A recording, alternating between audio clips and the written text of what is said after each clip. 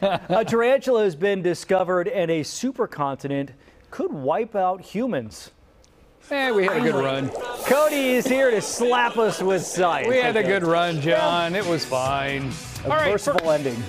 First story. The British Museum is asking for the public's help in recovering around 2,000 stolen artifacts. The museum announced that the thefts uh, announced that the thefts occurred after it was discovered some objects were reportedly being sold online. Oh. Officers, uh, officials say they've started a hotline for people who think they may have some of the missing items, and another hotline for people that are related to those people that won't admit it. uh, 60 artifacts have been returned, and a few hundred others are expected to be brought back soon.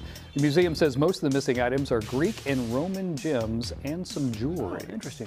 Have they thought about contacting Harrison Ford? Good point. Excellent point. You bet.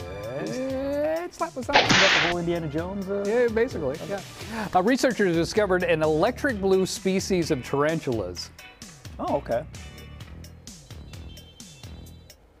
They're from, Ah! the, they're from the 80s. Ah, the spider was found living in a mangrove forest in southern Thailand. Uh, scientists say the electric blue coloring comes from the unique structure of their hair. Right. Yeah.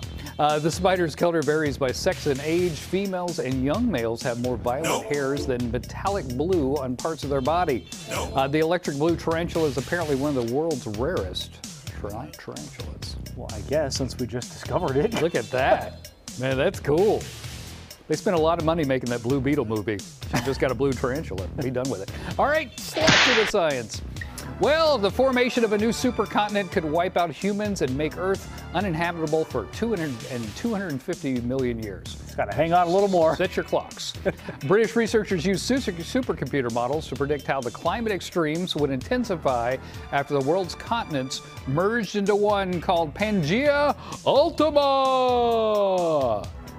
Cool name, but I want to be there. They found out it would be extremely hot, dry, and virtually uninhabitable for humans and mammals. That's a problem. The last mass extinction occurred 60 million, 66 million years ago when an asteroid slammed into Earth and killed off the dinosaurs and most of the life on the planet. So we got something to look forward to, John. So we're due. We're due. Human slap was on. Ugh. Still not feeling 100% from yesterday. Just doing this, ugh, it's too much. Back to you, John. First time I filled in for you on that, mm-hmm. I got real aggressive with my, and then realized how winded I was when I had to read the rest of the stories. I was like, oh, you gotta. It's not so easy, is it, John? Yeah, yeah, that's- Being me.